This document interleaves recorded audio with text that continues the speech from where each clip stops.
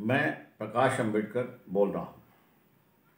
वंचित बहुजन अगाड़ी देश भर में एक नई राजनीति शुरुआत करना चाहती महाराष्ट्र से शुरुआत की एमआईएम के साथ में बैठ के लोकसभा के चुनाव में समझौता किया। जिसका फ़ायदा ये हुआ कि एक सीट एक सीट एमआईएम की जीत गई और एक काफ़ी बड़ी चर्चा शुरू हुआ उम्मीद थी कि विधानसभा में भी ये गठबंधन आगे बढ़ेगा लेकिन एमआईएम की ओर से यह कहा गया कि 100 सीट हमको चाहिए। विधानसभा की दो सौ अट्ठासी सीट है। इसलिए आप ही समझ सकते हो कि एक कृषि समाज को इतनी बड़ी पैमाने पर सीट नहीं दी जा सकती। समझौता हुआ नहीं, नतीजा आपके सामने बिहार के चुनाव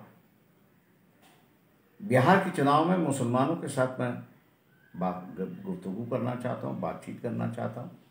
जो महाराष्ट्र में नहीं हुआ, वो हम लोग बिहार में दोबारा करना चाहते हैं और इसलिए बिहार के इलेक्शन हम लोग चुन रहे हैं। बिहार के इलेक्शन लड़ने का मकसद यही है कि एनडीए को हराना है। 16-17 परसेंट मुसलमान हैं 18-19 परसेंट अम्बेडकरवादी है शेड्यूल कास्ट है।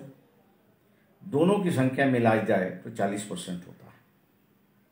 40 परसेंट से किसी भी सरकार को गिराया जा सकता है। एनआरसी का मुद्दा, सिटीजनशिप का मुद्दा, आरक्षण का मुद्दा, ये सरकार सबके खिलाफ है। और इसलिए मौलवी है, मौलाना है पढ़े लिखे मुसलमान हैं। आप इस बात पर सोचिए कि विधानसभा के चुनाव के अंदर अगर अम्बेडकरवादी आदिवासी शेड्यूल कास्ट मुस्लिम, अगर इकट्ठा जाता है तो हम एनडीए के सरकार को हरा सकते हैं और इसलिए इकट्ठा जाना ज़रूरी है। मुस्लिम समाज इस पर सोचेगा, ये मैं उम्मीद करता हूँ।